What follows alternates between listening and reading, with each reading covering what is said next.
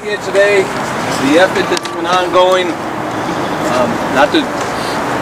focus so narrowly, but the no doubt the standing rock, the environmental concerns that this is all part of, the indigenous nations, the prayer, beautiful covered so much, um,